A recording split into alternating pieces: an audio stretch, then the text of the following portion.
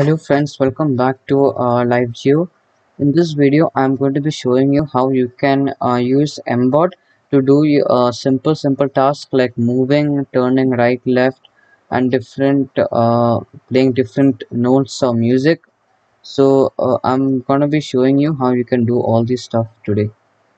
So uh, before we uh, start do working with the Mbot, we need to first make sure we have bought the Mbot and set it up properly the Mbot can be bought from Amazon. So uh, before we start, we need to uh, make sure that we have bought this same robot and not a different robot.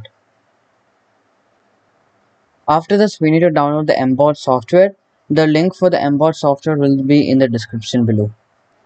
After you go to the link in the description, uh, at the top you'll be able to see download button over here.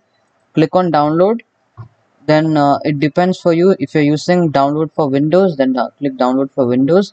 Or if you're uh, using mac then click download for mac. I'm using windows so i'm going to click windows. And wait for the program to get downloaded. After you open the m block for the first time you will be able to see a Codey over here and an x mark at the top. Click on, click on the x mark and uh, click delete.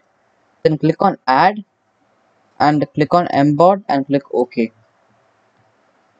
now let's connect our mbot so after we download mblock and we're almost ready to set up our mbot we need to uh, turn on our mbot so for that just this is the power switch over here. Turn it on. So when you turn it on there'll be a light color and some sound coming. And then uh, I'm going to show you how you can uh, connect your mbot so to first uh, connect your mbot uh, you will need to click on connect over here.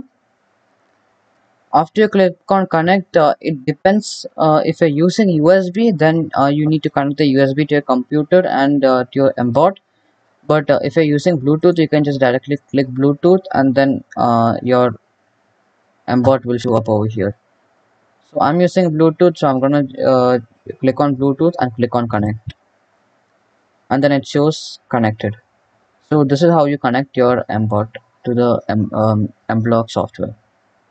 So after you connect your mblock uh, here in the M, uh, mblock software you can do all sorts of stuff uh, like you can uh, show an image in the led panel over here in the robot or you can uh, make it show red color for one second or show red color uh, red with with uh, show color red with 255 intensity or you can like turn left at power 50% for one second or move backward at power 50% move forward or stop moving.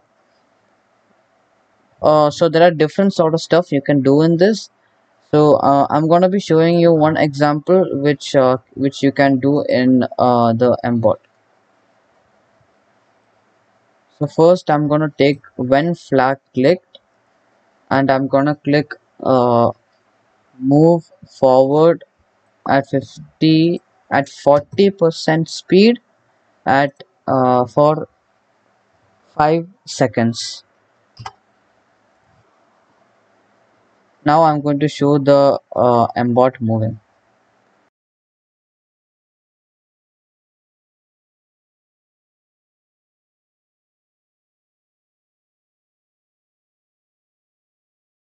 so as you could see over there my mbot was moving and uh, it uh, moved for 5 seconds uh, as I wrote over here in the program.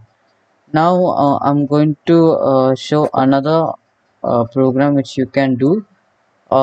In this you can put change the color of the LED light.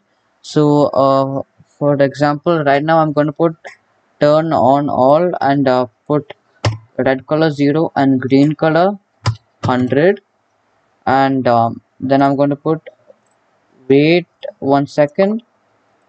And I'm going to put next uh, 100 green. And then again I'm going to put wait one second. And then I'm going to put uh, 100 blue and uh, 0 green so now uh, I'm going to show the uh, robot doing the program.